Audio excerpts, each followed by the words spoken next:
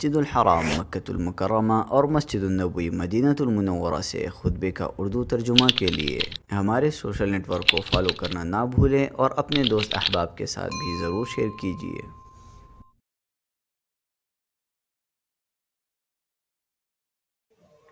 الله أكبر الله أكبر الله أكبر الله أكبر الله أكبر الله أكبر الله أكبر الله أكبر الله أكبر الله أكبر كبيرا والحمد لله كثيرا وسبحان الله بكرة وأصيلا اللہ تعظیم میں سب سے بڑا بزرگی میں، سب سے بڑھ کر تعریف والا پکیزگی میں سب سے مقدس اور وحدانیت میں سب صرف اللہ ہی معبود برحق ہے۔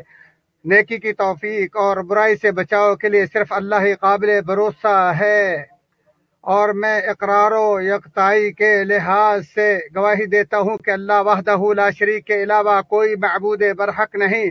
اور میں گواہی دیتا ہوں کہ محمد صلی اللہ علیہ وسلم اس کے بندے اور رسول ہیں۔ اللہ تعالیٰ ان پر بے بہا صلاۃ و سلام نازل فرمائے۔ اور سبحان اللہ والحمد للہ ولا الہ الا اللہ واللہ اکبر ولا حول ولا قوت الا باللہ العلی العظیم۔ یہ کلمات اللہ کو سب کلاموں سے زیادہ پسند رسول اللہ صلی اللہ علیہ وآلہ وسلم کو پوری کائنات سے زیادہ محبوب، اشرف ترین گردنوں کی آزادی زین و لگام سے تیار شدہ، عمدہ ترین گھوڑوں اور شعار زدہ مقبول قرآنیوں کے برابر ہیں، قربانیوں کے برابر ہیں۔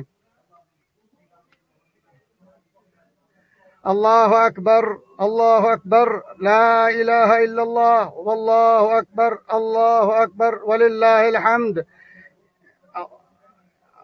ان اللہ اکبر کبیرہ والحمد للہ کثیرہ وسبحان اللہ بکرة واسیلہ ولا الہ الا اللہ ولا حول ولا قوت الا باللہ العلی العظیم ان کلمات سے آسمان و زمین کا خلا نیکیوں سے پر تمام گناہوں کا کفارہ اگرچہ وہ سمندر کی جھاگ کے برابر ہوں اور بندے سے گناہ اس طرح جڑ جاتے ہیں جس طرح درخت کے پتے جھڑتے ہیں اللہ اکبر اللہ اکبر لا الہ الا اللہ اللہ اکبر اللہ اکبر وللہ الحمد الله أكبر كبيرا والحمد لله كثيرا سبحان الله بكرة وأصيلا ولا إله إلا الله والله أكبر ولا حول ولا قوة إلا بالله العلي العظيم یہ کلمات جنت کی شجر کاری نجات و بچاؤ کا باعث اور باقی رہنے والی وہ نیکیاں ہیں جن کا عجر و ثواب ہمیشہ باقی رہتا ہے اللہ اکبر اللہ اکبر کبیرہ، والحمد للہ کثیرہ، وسبحان اللہ بکرتا واصیلا،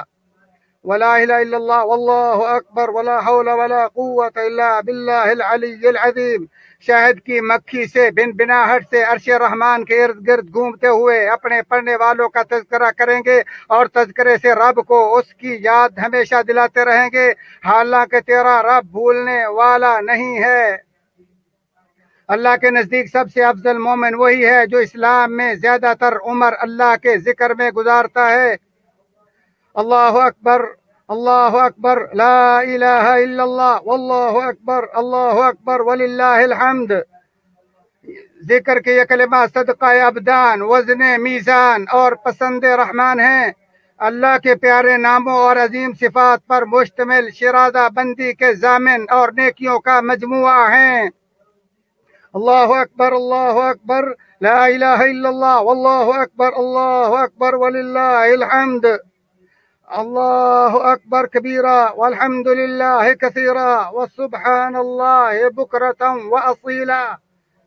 ولا إله إلا الله والله أكبر ولا حول ولا قوة إلا بالله العلي العظيم.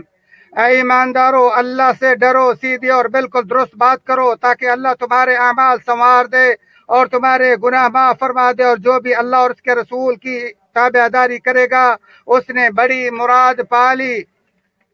مسلمانوں، اللہ کا ذکر بہت زیادہ کرو اور صبح و شام اس کی پاکیزگی بیان کرو۔ وہی ہے جو تم پر اپنی رحمتیں بیچا اور اس کے فرشتے تمہارے لیے رحمت کی دعا کرتے ہیں، تاکہ وہ تمہیں اندھیرے سے اجالے کی طرف لے جائے۔ اور اللہ تعالیٰ مومن پر بہت بڑا مہربان ہے۔ جس دن یہ اللہ سے ملاقات کریں گے ان کا تحفہ سلام ہوگا۔ ان کے لیے اللہ تعالیٰ نے باعزت اجر تیار کیا ہے۔ کلمہ، نماز، روزہ، زکوٰۃ، جہاد اور بیت اللہ کا حج، یہ سب اللہ کی تعظیم کے مظاہر اور اس کے ذکر کے شواہد ہیں۔ تلبیہ کا شرف، یوم تربیہ کی سرابی یوم عرفہ کی تسبیحات، وقوف عرفہ کی تعظیم مزدلفہ کی تسلیم و رضا، چاشت کی رمی صبح کا طواف افادہ، تکبیر سے قربانی اور دوپہر کی کنکریاں مارنا، یہ سب کچھ اسی کا معتبر ہے۔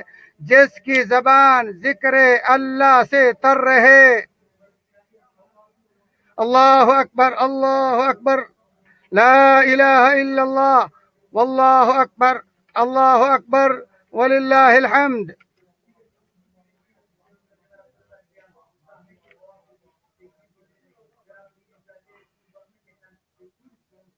الله أكبر الله أكبر الله أكبر الله أكبر الله أكبر الله أكبر الله أكبر. اے لوگو، اپنے رب سے ڈرو، بلا شبہ قیامت کا زلزلہ بہت ہی بڑی چیز ہے۔ جس دن تم اسے دیکھ لو گے ہر دودھ پلانے والی اپنے دودھ پیتے بچے کو بھول جائے گی اور تمام حمل والیوں کے حمل گر جائیں گے۔ اور تو دیکھے گا، لوگ مدہوش دکھائی دیں گے۔ در حقیقت وہ متوالے نہ ہوں گے۔ لیکن اللہ کا عذاب بہت بڑا شخص ہے۔ اللہ اکبر کبیرہ، اللہ اکبر اللہ اکبر، لا الہ الا اللہ واللہ اکبر، اللہ اکبر باللہ الحمد۔ میں گواہی دیتا ہوں اللہ وحدہ لا شریک کے علاوہ کوئی معبود نہیں اور میں گواہی دیتا ہوں کہ بلا شبہ محمد اس کے بندے اور رسول ہیں۔ اللہ آپ اور آپ کی آل پر صلاۃ وسلام نازل فرمائے۔ اللہ کے بندو قربانیاں کرو۔ اللہ تمہاری قربانیاں قبول فرمائے۔ قربانی کے دن اللہ رب العالمین کے لیے مویشی جو پائے، چوپائے کا خون بہانا سب سے عظیم نیکی، کیونکہ اس کا گوشت کھایا اور ہدیہ اور صدقہ کیا جاتا ہے۔ نیز اللہ کی ایک مذہبی رسم تمہارے باپ ابراہیم کی سنت کا پرچار ہے۔ آپ اور ہمارے نبی پر صلاح وسلام نازل ہوں۔ اور یاد رکھو، ظاہری بیمار، ظاہری بینگا اور ایسا ظاہر لنگڑا جو تندرست کے ساتھ چلنے کا متحمل نہ ہو، یا جس کا آدھے سے زیادہ کان یا سینگ کٹا ہو، یا ایسا کمزور جس کی ہڈیاں گودے سے خالی ہوں۔ یا وہ جانور جس کے اگلے دانت جڑوں سے ٹوٹ چکے ہوں، یا ایسا لاگر جس کا دودھ بڑھاپے سے خشک ہو چکا ہو، یا خارش زدہ ہو، یہ سب قربانی کے لائق نہیں ہے اسی طرح پورے پانچ سال سے کم اونٹ، پورے دو سال سے کم گائے، پورے ایک سال سے کم بکرے، اور پورے چھ ماہ کے کم چھترے پورے چھ ماہ سے کم چھترے کی قربانی جائز نہیں، جبکہ اونٹ اور گائے ساتھ ساتھ حصے داروں کی طرف سے کافی ہے۔ اگلا پایا، گھٹنا باندھ کر ان اونٹ کو کھڑے نہر کرنا، گائے اور بکری کو بائیں پہلو پر قبلہ رخ لٹا کر ذبح کرنا سنت ہے، بسم اللہ پڑھ کر ذبح کرنا واجب اور ساتھ واللہ اکبر پڑھنا مستحب ہے۔ قربانی کے گوشت کا ایک حصہ کھانا، ایک صدقہ اور ایک ہدیہ کرنا سنت ہے۔ قربانی قربانی کی کھال یا کوئی دوسری چیز بیچنا منع ہے، نیز قربانی کوئی چیز قربانی کو کوئی چیز کا کو بطور اجرت نہ دی جائے۔ قربانی کا وقت نماز عید سے فارغ ہونے سے لے کر اس کے بعد دو دن کے آخر تک ہے۔ جو اس سے پہلے کرے گا وہ زبی گوشت ہے، قربانی نہیں۔ اللہ اکبر اللہ اکبر، لا الہ الا اللہ، واللہ اکبر، اللہ اکبر، وللہ الحمد۔ قربانی کے اونٹ ہم نے تمہارے لیے اللہ تعالیٰ کی نشانیاں مقرر کر دی ہیں۔ ان میں تمہیں نفع ہے۔ پس انہیں کھڑا کر کے ان پر اللہ کا نام لو۔ پھر جب ان کے پہلو زمین سے لگ جائیں، ان سے خود کھاؤ اور مسکین سوال سوال سے رکنے والوں اور سوال کرنے والوں کو بھی کھلاؤ۔ اسی طرح ہم نے چھپائیوں کو تمہارے ماتحت کر دیا تاکہ تم شکر گزاری کرو۔ اللہ تعالیٰ کی اللہ تعالیٰ کو قربانیاں کو قربانیوں کے گوشت و خون نہیں پہنچتے، بلکہ اسے تو تمہاری دل کی پرہیزگاری پہنچتی ہے۔ اسی طرح اللہ تعالیٰ نے ان جانوروں کو تمہارا متی کر دیا ہے۔ تم اسی کے رہنمائی کے شکریہ میں اس کی بڑھائیاں بیان کرو اور نیک لوگوں کو خوشخبری سنا دیجیے اے اللہ کے بندو، دعا کی سیڑھی اسمانوں کی کنجی، امام الانبیاء، سید التقیہ پر درود السلام بھیجنے کو اپنے اوپر لازم کر لو۔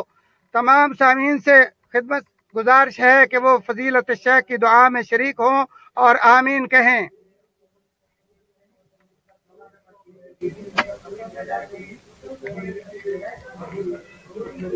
سائر الصحابة أجمعين وعن التابعين وتابعيهم بإحسان إلى يوم الدين وعنا معهم بعفوك ومنك وكرم وكرمك يا أكرم الأكرمين.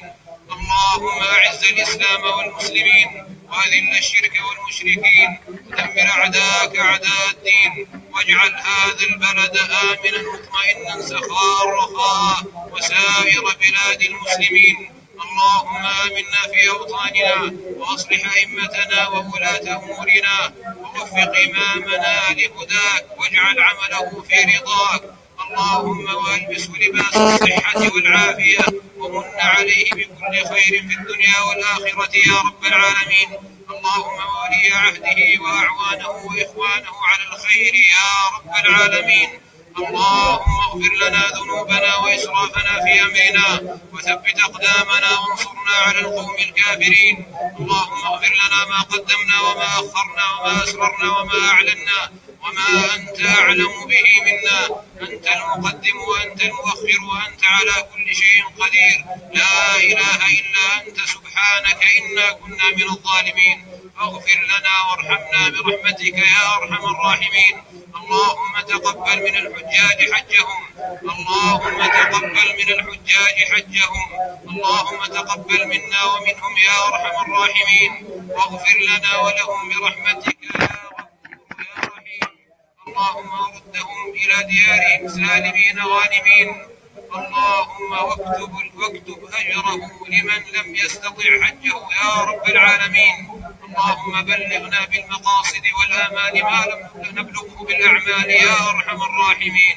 اللهم اغفر لنا ذنوبنا وتوفنا مسلمين. الله أكبر الله أكبر. لا إله إلا الله. الله أكبر الله أكبر. ولله الحمد.